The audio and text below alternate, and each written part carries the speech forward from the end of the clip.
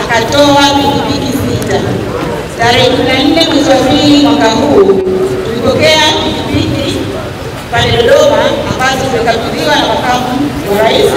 Sisi halmashauri ya wilaya Njombe tulipokea pikipiki sita, lakini pia kwa kujiongeza kupitia mwenyekiti wetu wa halmashauri na madiwani wote wametuma kutumia mapato ya ndani pia kununua pikipiki sita ili watendaji hawa wote wa kata wapate vitendea kazi ambavyo kwa imani kubwa sana vitaongeza ufanisi kuwatumikia wananchi, lakini kusimamia miradi na kuhakikisha wanafuatilia ipasavyo mapato ya halmashauri.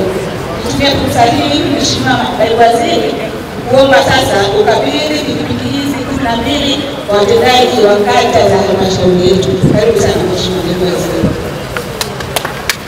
Mkurugenzi rasi mkoa wa Njombe, mkurugenzi wa halmashauri, mwenyekiti wa halmashauri, mimi nianze kwanza kwa kuwapongezea kwa sababu mmetopa pale mama yetu Samia Suluhu Hassan alipoweka mkono wake. Mheshimiwa Rais amewaletea pikipiki sita na nyinyi mkaona muunge mkono kwa mapato ya ndani kwa kuongeza pikipiki sita. Mfano huu wa Njombe DC unatakiwa kuigwa na karibia halmashauri zote nchini. Tunaposema kumtia nguvu Mheshimiwa Rais, huku ndio kumtia nguvu Mheshimiwa Rais wetu, kwa sababu sita yeye, sita nyinyi wenyewe. Sasa kwa nyinyi mnaopewa vitendea kazi, tunategemea kuona utumishi uliotukuka. Hatutegemei kuona sababu zingine, wala hatutegemei kuona rasilimali hizi za serikali zikatumika kama bodaboda. Hatutegemei rasilimali hizi zikaenda kuharibiwa aidha kwa kutozitunza vizuri ama kwa nyinyi kwenda kupiga moja moto moja baridi na kuzidondosha. Tunatarajia mnapokabidhiwa leo hivi, basi zikutwe hivi hivi hata miaka mitatu mbele zikiwa zina hali hii hii kwenye kutoa huduma. Lakini la pili, kwa kupewa vitendea kazi hivi, tunatarajia kuona mapato ya serikali yanaongezeka kwenye maeneo yetu, kwa sababu vitendea kazi hivi vinawawezesha. Nawaomba sana mkatumie vitendea kazi hivi katika kuongeza mapato ya serikali. Lakini pia vitendea kazi hivi vikawafanye muwe wasimamizi wazuri wa, wa, wa rasilimali watu na rasilimali fedha kwenye kata zenu. Wewe ni, ni mwakilishi wa mkurugenzi wa halmashauri, kwa maana watumishi wote kwenye kata yako wako kwako wewe, miradi yote ya kwenye kata yako wewe iko kwako wewe. Hivyo vitendea kazi hivi vikafanye mkasimamie miradi nzuri na mkasimamie watumishi walio chini yenu.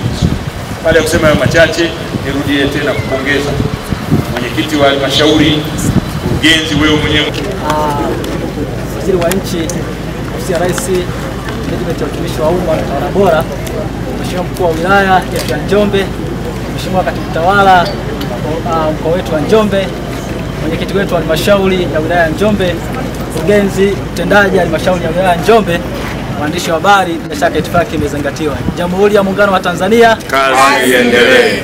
Mheshimiwa Naibu Waziri, uh, ninaitwa Majogoro Bwire, ni afisa mtendaji uh, wa kata katika halmashauri ya wilaya ya Njombe. Kituo changu cha kazi kwa kata ya Ikuna.